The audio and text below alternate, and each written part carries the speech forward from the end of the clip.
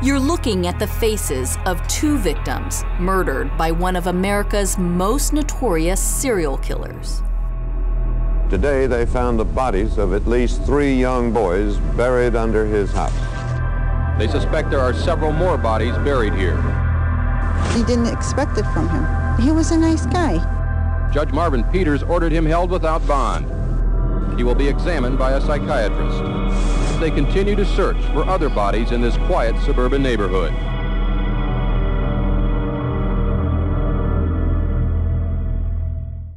John Gacy was uh, probably the most prolific or infamous serial killer in uh, modern times.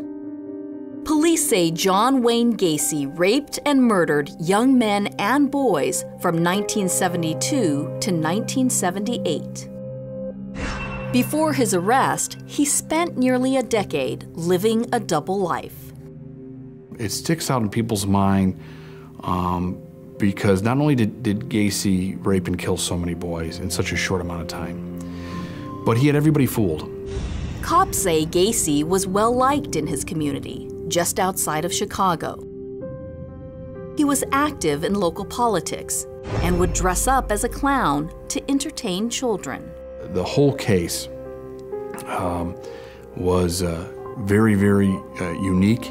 It was uh, very troublesome um, to people in Chicago and uh, really across the country.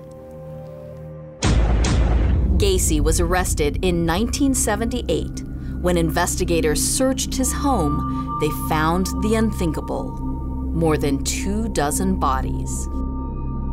He concealed the bodies of his victims in his own home, in, in the crawl space. He had a dirt and rock crawl space um, where he would excavate uh, shallow graves and place the victims uh, in the crawl space. Gacy was convicted and executed for the murder of 33 young men and boys. But at the time, investigators were not able to identify eight of those victims. The Gacy case went cold for decades.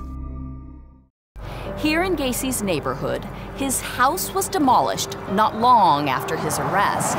And then, in the late 80s, someone built a new house on that property over the years, a lot has changed out here. Still, many people don't realize there are mysteries lingering. Today, we are beginning a process to close the book once and for all on John Wayne Gacy.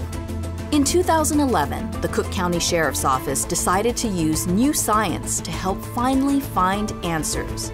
Detective Sergeant Jason Moran led the investigation. Sergeant Moran. The plan was simple use DNA to match Gacy's victims with families still searching for their missing loved ones. This technology wasn't around during the initial investigation. Within the first day, we probably had 60, 60, 65 leads. You know, first, you know, the first three days, you know, over 100. Remarkably, after many decades, DNA identified 19 year old William George Bundy. Seeing the pictures of them then afterwards, you know, now that we know who that is and seeing pictures, it was just so heartbreaking. Then, in 2017, they identified a second victim, 16 year old Jimmy Haakenson. But there's still more work to be done. Six boys and young men are still unidentified today. They're buried in cemeteries across Cook County. This is the grave of victim number 10. This is one of the unidentified victims of John Gacy. NCMEC was nice enough to do a facial reconstruction.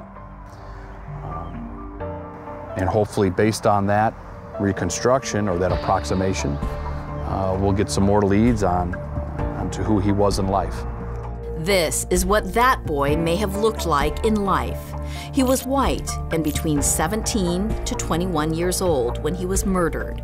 He had an old healed fracture on his left collarbone.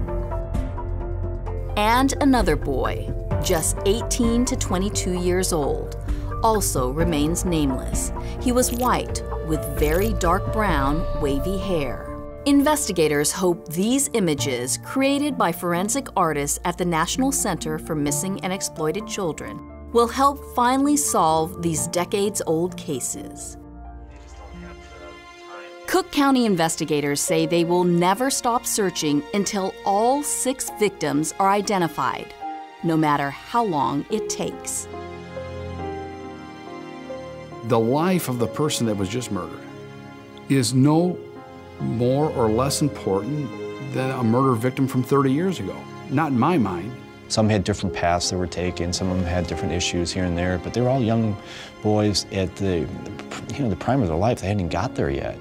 And to have it just so horribly destroyed by this guy, the very minimum we owe them is to let them know that their lives mattered. Take a good look at these images. Police say Gacy often picked up hitchhikers or found his victims at bus stops. They could be from the Chicago area or may have come to the city from almost anywhere. If you have information about the unidentified victims of John Wayne Gacy, please call the National Center for Missing and Exploited Children at 1 800 The Lost.